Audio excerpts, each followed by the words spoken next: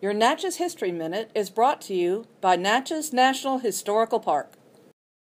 Recognized as an architectural masterpiece among Catholic churches in the Deep South, St. Mary Basilica was dedicated on this day, Christmas Day, December 25th, in 1843. The cornerstone of the not yet finished Gothic Revival building was laid in 1842 under the supervision of Bishop Chanche. But completion of the magnificent structure would take another 40 years. Scottish builder James Hardy designed the cathedral, which was originally called Our Lady of Sorrows.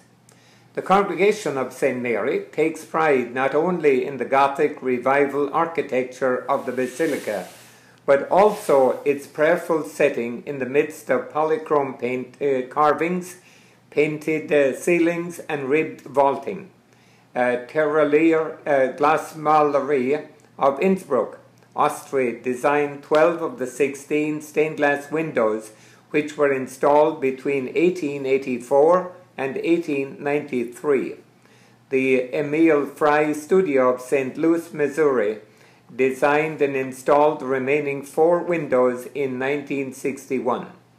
There are three marble altars, a communion rail, an episcopal chair, and screens made of Carrara marble that were fashioned for St. Mary in Italy. St. Mary remained the cathedral of the diocese until 1977, when the headquarters of the diocese was moved to Jackson. It was designated as a minor basilica, a center of active and pastoral liturgy in 1998. Today, due in large part to the collection of antebellum homes, the city of Natchez is recognized as an international tourist destination, and St. Mary Basilica is the city's central landmark. I am Father David O'Connor, pastor here at St. Mary Basilica, and uh, this has been one of your uh, Natchez History Minutes. Have a blessed Christmas.